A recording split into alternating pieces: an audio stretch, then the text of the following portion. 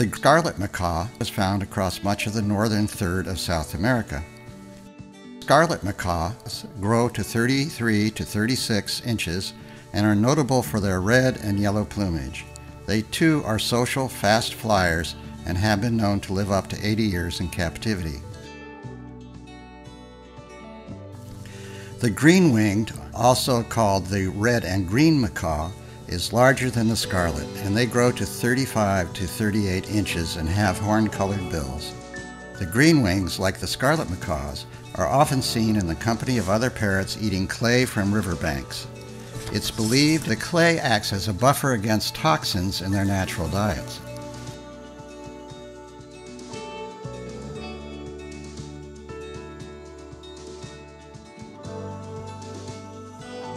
The blue and yellow macaw can reach a length of 32 to 34 inches. As you can see, they are vivid in appearance.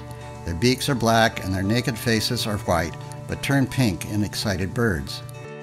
The blue and yellow macaws generally mate for life, and they almost nest exclusively in dead palms. Blue and yellow macaws live from 30 to 35 years in the wild and can reach sexual maturity between the ages of 3 and 6 years. Largest of all the flying parrot species is the hyacinth macaw.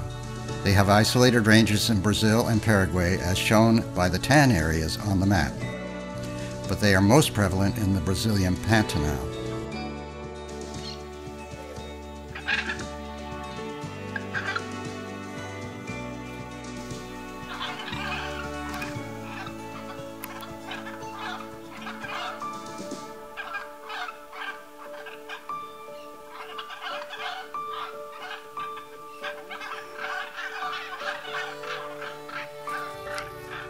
Some hyacinth macaws are bright blue while others are more violet.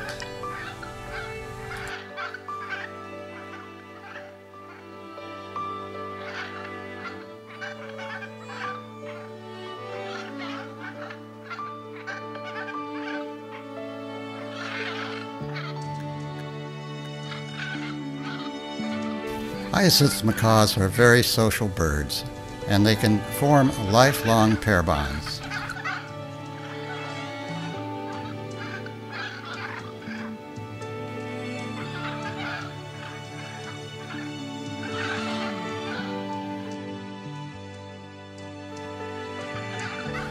Depending upon the habitat, hyacinth macaws nest on cliffs or in large tree cavities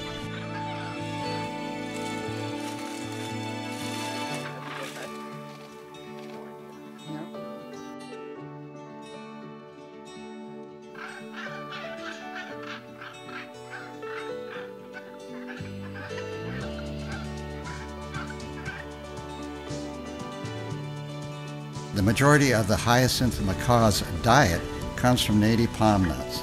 The bird's very strong beaks are necessary for breaking and eating these nuts, kernels, and seeds. In fact, they can even crack coconuts.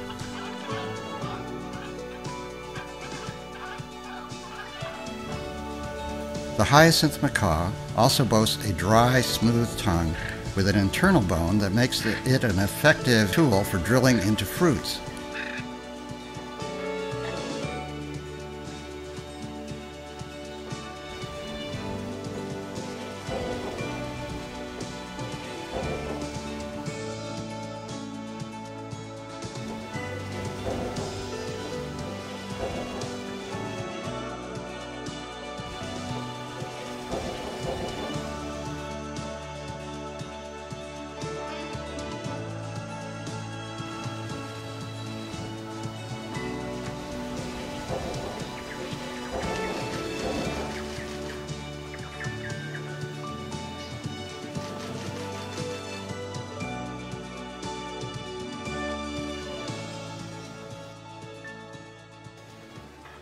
The peach-fronted parakeet is common in the Pantanal.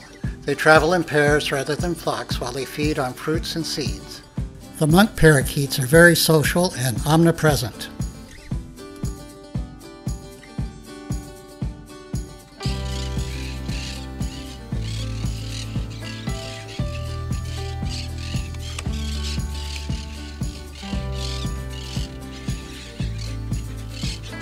The monk parakeet build multi-chambered communal nests of sticks.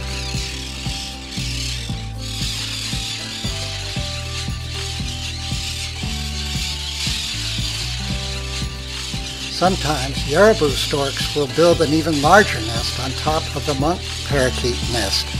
Both species happily coexist until the combined weight of the nests causes all of them to crash to the ground.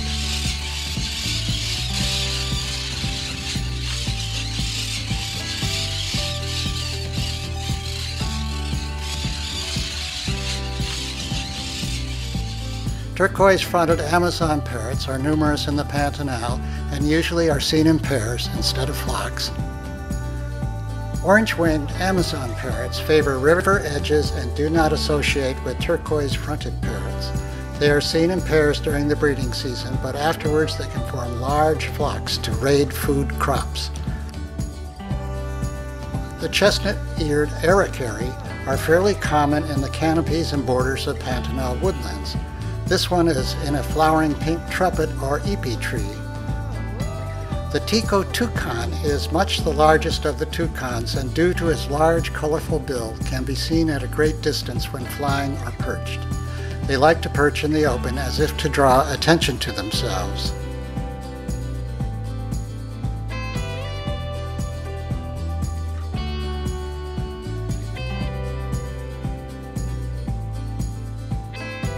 Trogons, including the blue-crowned trogon here, are colorful birds sought after by birders and photographers.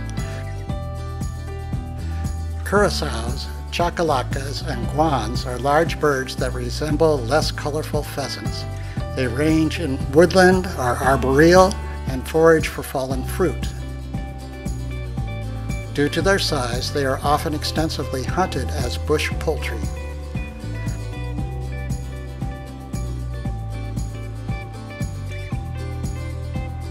The red-legged Seriemas are large, long-legged, long-tailed birds of the open fields of the Pantanal Cerrado.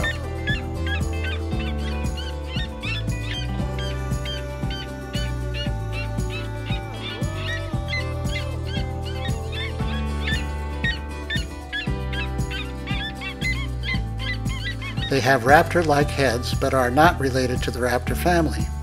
Seriemas remind me of the similar looking and behaving secretary birds of Africa. Seriemas are usually seen singly or in pairs as they stride about foraging for large insects, rodents, and lizards. These are the signature birds of the Pantanal, and I was very happy to film them while they made alarm calls at me as I hid in the bushes.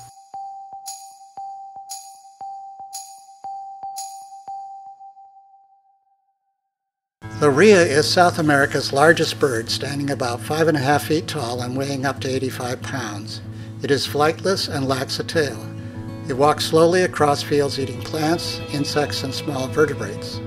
Rheas are wary and will try to keep their distance from humans.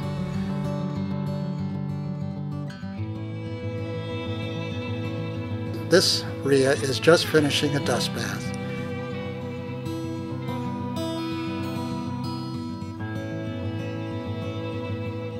These two are engaged in a dominant struggle. See how each of them tries to attack the other's eyes. There are two species of screamer, the horned and the southern. This is the goose-sized southern screamer.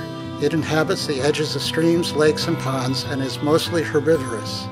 They are very noisy birds that don't like to be approached.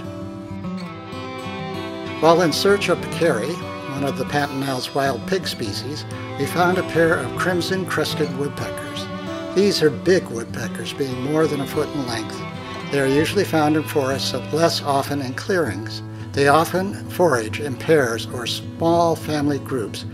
The less commonly seen pale-crested woodpecker is smaller than the crimson. The little woodpecker is only 6 inches in length. I photographed this male during the golden hour the great horned owl is found in suitable habitats across all of North and South America. It is certainly the largest owl in the Pantanal. The Ferruginous pygmy owl measures only six and a half inches. It preys on small birds. Its flight is swift and direct. Potoos are solitary, nocturnal birds with extremely large eyes which they keep closed when hiding during the day. Potoos are very hard to spot as they resemble the end of a broken tree branch stub. Potoos sally forth only at dusk in search of larger insects. Vultures are as large as eagles, but they feed almost exclusively on carrion. Their featherless heads and necks are adapted to this purpose. The large hooked bills are useful for ripping flesh, and the bills of the biggest vultures can open even thick hides. Their feet are relatively weak and are not useful for carrying prey. The black vulture is widespread across North and South America. It locates carrion and refuse primarily by sight and often congregate around towns and refuse dumps. King vultures are much larger than the black vultures, which they easily dominate. King vultures are not common and usually spotted singly or in pairs, soaring at great heights or feeding on a carcass.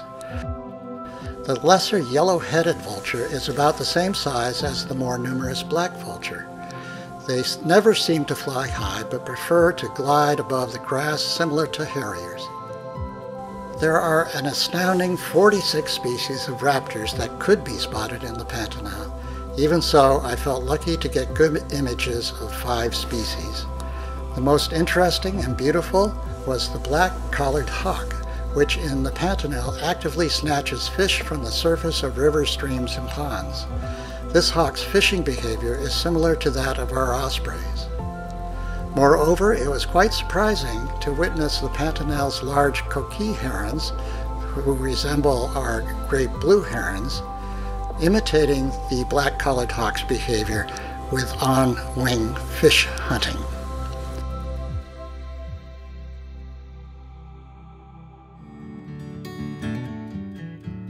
Great black hawks are smaller than black-collared hawks, but the great black hawks are still powerful predators preying on birds, mammals, and amphibians, and even fish. They are locally common in woodland borders and especially near water.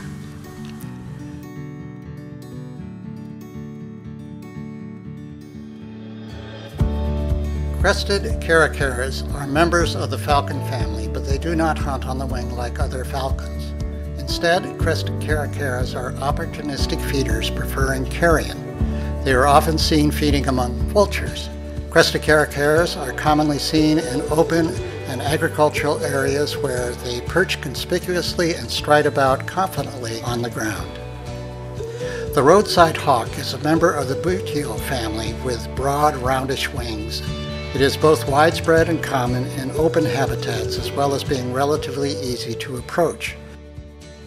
Snail kites were very abundant when I was in the Pantanal, and I saw many hundreds foraging or perched near water in fields and at the edges of woodlands. When food is plentiful, snail kites will forage in loose groups and even roost communally. In appearance, the snail kite's long, hooked beaks are distinctive. The plumage of adults are slate gray and immatures are mottled brown. Both have red eyes.